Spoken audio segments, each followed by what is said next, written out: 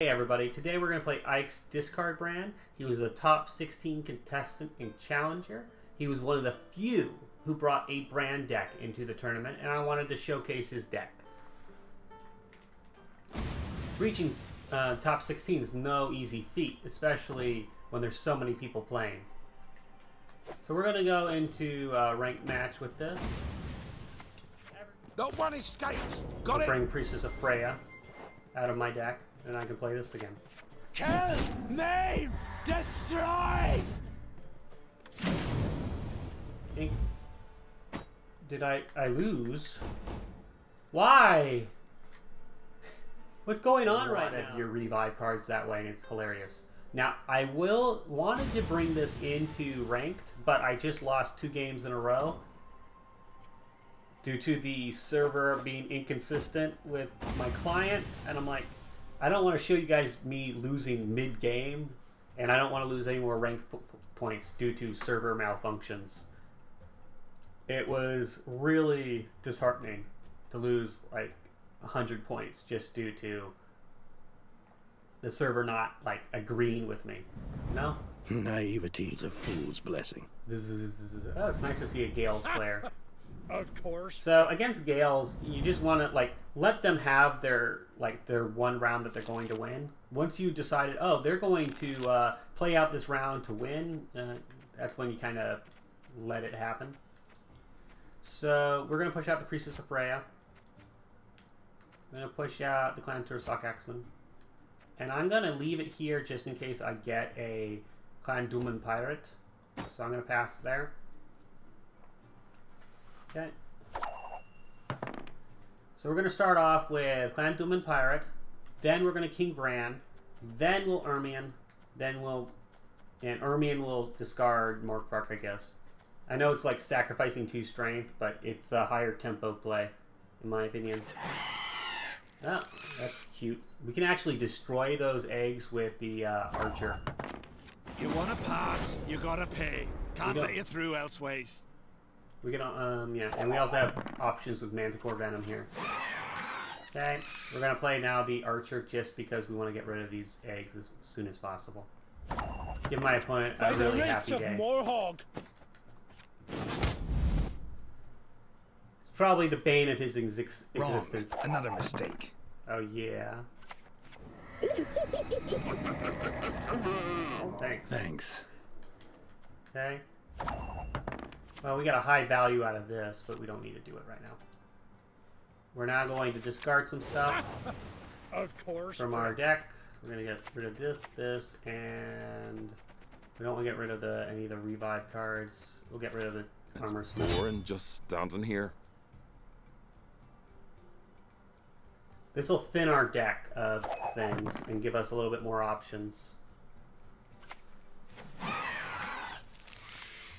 Okay. Well, uh, a perfect thing to do here is this.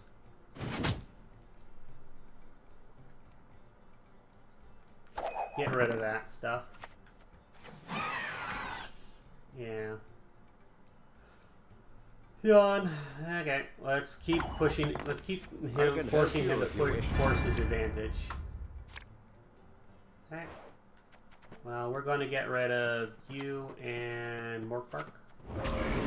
Hide your stench.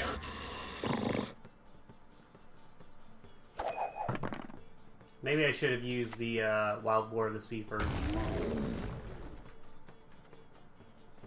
Yeah, uh, he has that stuff in his deck, so that's cute. Billion barrels of burning. The more cards we force him to play, the better. In this scenario, we know that he's going to win this round, but he can't use his leader ability as effectively if we keep pushing it. And at this point, it's probably best just pass. Um, it might be better to pass at this point.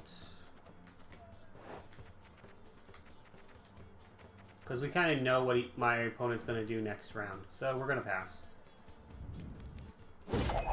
We have card advantage. He's probably not going to play anything on the next round. Uh, he'll have 13 points, I believe. Which is uh, fairly strong, but we can deal with it.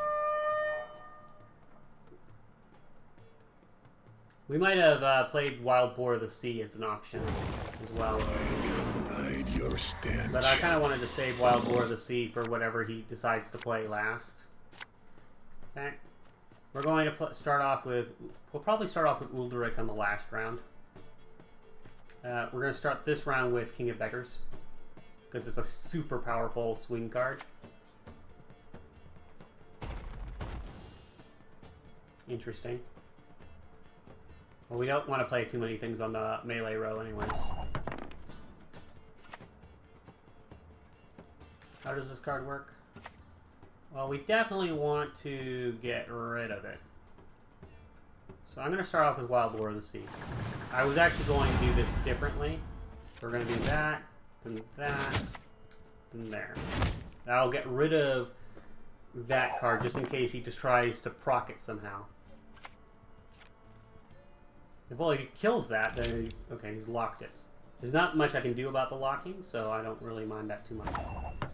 So we're gonna now play King of Beggars. So, how are We're gonna pull a Priestess of Freya, which we'll then use to pull a. What do we want to pull? Pull this. Out Well, the crowns. King of Come on, quick now.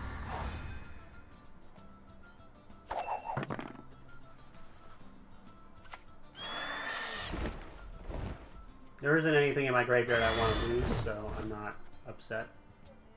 He should be using that uh, a different time. barrels of burning pitch. We're already going to win this round, so we don't mind pushing this as far as we can. He really doesn't have too many bad pulls. Okay, what did he play? He used his leader ability. That's not bad for us.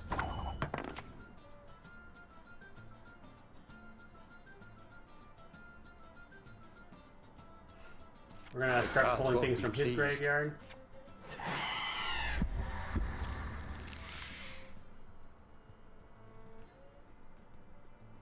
Okay. Depending on his last card.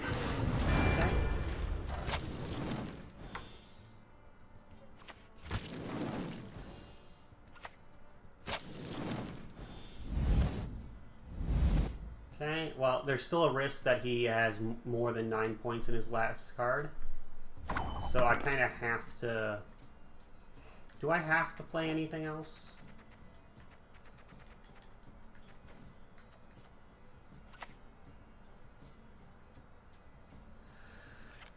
Ugh, this is a hard choice. I'm gonna risk it and assume he doesn't have nine points.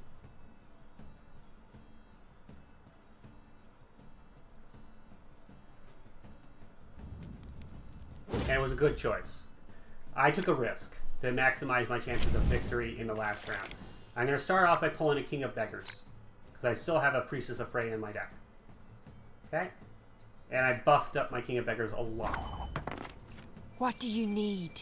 So let's get our King of Beggars, a 9 strength King The of Beggars onto the semblance of board. power don't interest me. Then we're going to pull Bow Priestess before of Freya. mortal Freya. And I think I'll go with the Clan Tuirseach Axeman. Billion barrels of burning pitch. and I will distribute my buffs.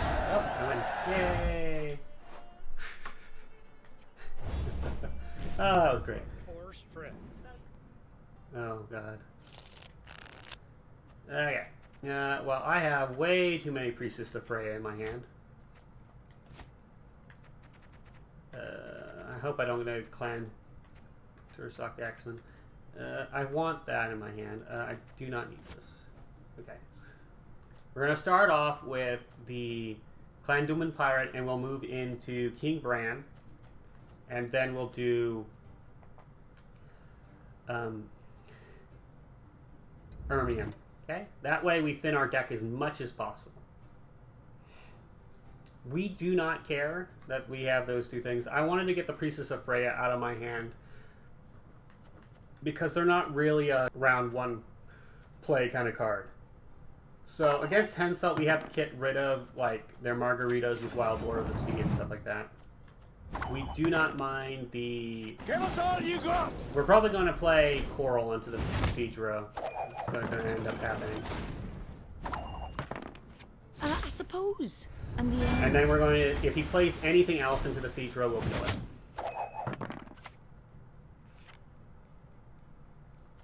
With um, Wild Boar of the Sea.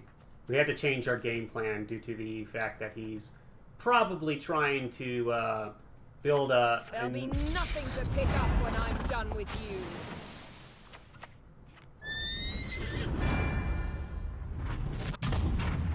So seven strength.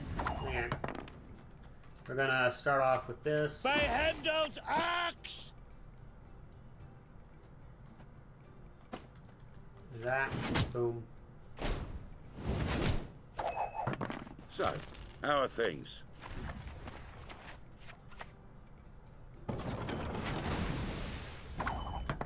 Okay. Uh, we'll do that. Keep my opponent fighting for the board. Great. The semblance of power don't interest me. He doesn't get to really choose where it goes. Okay, and now we play Boar of the Sea. We want to hit you. And we're going to hit you. And we're going to hit you.